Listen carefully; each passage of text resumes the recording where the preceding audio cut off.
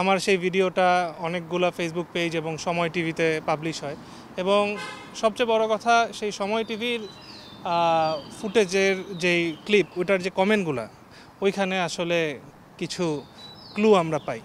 কারণ এত বেশি মানুষ দেখল মিলিয়ন মিলিয়ন মানুষ, এত জনবহুল দেশে কিন্তু আসলে কেউ না কেউ কাউকে না কাউকে চিনে। সেখান থেকে আসলে লিডটা চলে আসে।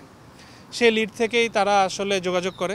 আজকে আহ, সানারপাড় এলাকাতে হচ্ছে অভিযান চালানো হয় এবং তাদের কাছে আসলে বিপুল স্বর্ণালঙ্কার এবং আমাদের বাসায় যেহেতু খুব দুই দিন আগে ডাকাতি হয়েছিল সব কিছু বিক্রি এখনও করতে পারে নাই। তো কিছু জিনিস আমরাও পেয়েছি। করলাম হচ্ছে যে আপনাদের সময় টিভির একটা ওই যে পল্লবী থানার একটা ঘটনা। এটার কমেন্ট দেখে দেখে ওখানে একটা কমেন্ট আমি দেখছিলাম যে সে তাকে চিনে। পরে ওনার সাথে ওই ফেসবুকে আমি চেক করে মোবাইল নাম্বার নিয়ে তার সাথে কথা বলে ওই এলাকায় গিয়ে পরে বাসাটা খুঁজে বের করছি।